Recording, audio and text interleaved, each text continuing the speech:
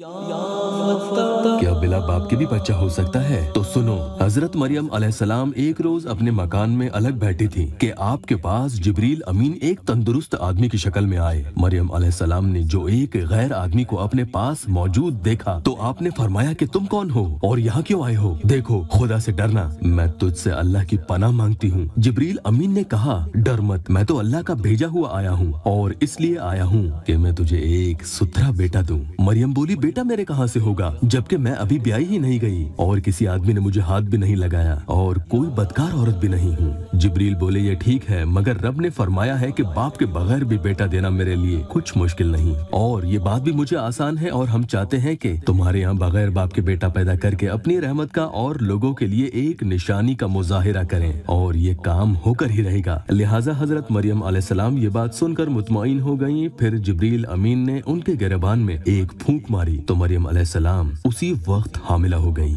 आपका बगैर शोहर के हामिला हो जाना लोगों के लिए बाईस ताजुब हुआ। सबसे पहले आपके हमल का इल्म आपके चचाजाद भाई यूसुफ नजार को हुआ, जो बैतुल मुकद्दस का खादिम था। वो हज़रत मरियम सलाम का जोहदो तकवा आपकी इबादत और मस्जिद से गैर हाजिरी याद करता हुआ और फिर आपका हामिला हो जाना देखता तो बड़ा हैरान होता कि ये क्या बात है। आखिर एक दिन उसने जुर्अत करके मरियम सलाम से पूछ लिया और ये बात इस तरह शुरू की कि, ए मरियम, मुझे बताओ कि क्या खेती बगैर तुख्म और दरख्त, बगैर बारिश के और बच्चा बगैर बाप के पैदा हो सकता है? मरियम सलाम ने जवाब दिया, क्या तुझे मालूम नहीं कि अल्लाह ताला ने जो सबसे पहले खेती पैदा की वो बगैर तुखम के ही पैदा की और दरख्त बगैर बारिश के अपनी कुदरत से लगाए। और क्या तुझे मालूम नहीं कि अल्लाह ताला ने आदम और हवा को बगैर माँ बाप के पैदा किया? तो यूसुफ ने कहा, बेशक इन सब उमूर पर अल्लाह ताला कादिर है और मेरा शुबा रफा हो गया। तो मेरी प्यारी बहनों, अगर आप भी अपने लिए नेक शोहर चाहती हैं तो इस अमल की बरकत से अल्लाह ताला से ज़रूर उम्मीद लगाएँ। इन अल्लाह अला कुल्ली शैन कदीर। बेशक अल्लाह ताला हर चीज़ पर कादिर है। इस अमल की बरकत से न जाने कितनी बहनों के आज घर बच चुके हैं। बस अपने कामों से पाँच मिनट के लिए फारिग होकर, क्योंकि इसे पढ़ने में तकरीबन पाँच ही मिनट आपको लगने वाले हैं। नेक और अमीर लड़का जो आपको मोहब्बत भी करे, आपकी परवाह भी करे। ऐसे लड़के से शादी होने के लिए रोज़ाना तीस दिन तक, अगर जुबानी याद हो तो नापाकी में भी पढ़ सकते हैं, इसमें कोई मसला नहीं है। सूर्य कुरैश, इकतालीस मरतबा। अव्वल, आखिर तीन तीन बार दुरुद पाक के साथ पढ़कर, अल्लाह से अपने लिए नेक शोहर की दुआ करें।